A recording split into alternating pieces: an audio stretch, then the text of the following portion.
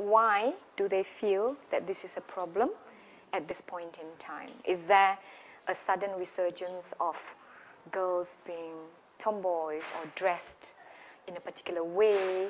Suddenly, statistics show that there's a high number of, you know, girls who are doing this. From the time I was growing up, uh, there's a lot of tomboys around. My family, for example, just to take it on a very personal level, there's six girls in my family, and all of us were quite tomboys when we were growing up. There were no boys in the family, so I wonder why there needs that kind of behavior needs to be criminalized. I mean, what's the thinking that goes behind the need to say that people who dress in particular ways are, what, what are they? Are they a menace to society? Are they dangerous? For me, this is another form of regulation with regard to how women dress. Yeah, that's basically what it is. Uh, and where do we draw the line? When does uh, dressing up in trousers, for example, um, become tomboy or pengkit? So, you know, like, how, how do you define it? if I dress up like this, then will someone think this is tomboy or pengkit? Or how do we decide? Does the trousers have to be this long? Or is it this long? Does it have to be baggy? Can it tuck in or tuck out? Uh, you know, like just little details like that. And I think when you do this, it, be, it comes to a point where it will become ridiculous, uh, you know, uh, in terms of the enforcement especially. How will, how will they decide it? Um, there were a lot of tomboys in my school then.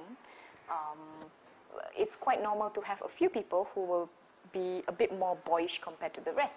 And I think for, for us, um, a women's group, a Muslim women's group as well, um, the idea of, of masculinity and uh, femininity, yeah, both things, we feel that um, these are gender, aspects of gender. And aspects of gender is a social process.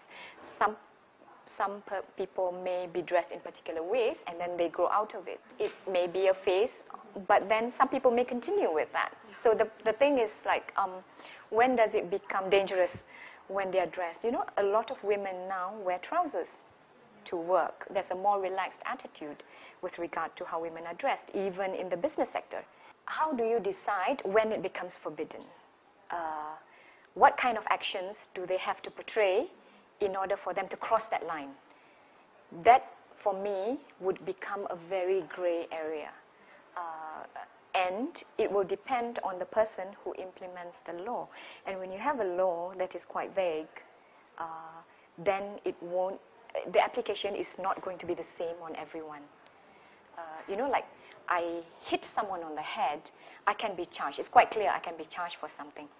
But then, if someone gets arrested for dressing like a man and behaving in a manly way, you need to describe exactly what is it a man, how is it a man is supposed to behave, and how is it a woman is supposed to behave. Then say exactly what kind of behavior this woman did that is manly and not womanly. Some people are just, you know, a bit more tough compared to others. Uh, so then the law can be quite, how it's applied can be quite um, uh, uh, can be quite uneven. Yeah. Uh, so while this is at this point in time only a fatwa, if it gets gazetted, it becomes law. Um, then, if it becomes law, then that means you need to have enforcement. There'll be decisions in terms of what, what is the criteria, the fine, the fine print that dictates this is manly behavior, this is womanly behavior, this is manly clothing, this is womanly clothing. Then it becomes very problematic. Yeah, in terms, definitely is a law that will be really hard to implement if it ever gets gazetted. I think uh, the fatwa is merely restating what has already been the hukum. And uh, as a Muslim, we all know the hukum is um, a woman must adhere to the way a woman should dress and behave. That is really restating what uh, we have already know. It's just that when it's it's meant as a fatwa, it becomes stronger. Um, so yes, I, I, agree that a woman should not uh, behave in a way that uh, makes uh, the public confused between a man and woman And, and as well as man shouldn't make the public confused between a woman and a man. Um, if he's a man, he's a man. If it's a woman, he's a woman. My understanding about what constitutes a tomboy is, is basically someone who acts, behaves uh, like a boy, meaning her demeanor is such that people might think she's a boy, but she does not necessarily uh, love women because a lesbian would love woman, isn't it? And, and would engage in unnatural sex. Now that is forbidden as well. The fact that there is a difference between tomboy, being a tomboy and being a lesbian does not negate the fact that being a tomboy is wrong as well. Being a lesbian is wrong and being a tomboy is wrong. You, but it's just that the degree is greater if you engage in unnatural sex because unnatural sex is already a greater sin um, compared to um, just behaving like a boy. There's nothing wrong in being masculine. Um, I mean, being a, it, it's it's not like uh, wearing pants is, is, is wrong. Uh, wearing pants, slacks doesn't make you a tomboy. But I think what needs to be clarified is what constitutes menyerupai laki. That's when it's, uh, you know. I think the, the, thing about Islam is that it encourages you to think, you know yourself. It's how you manage that problem.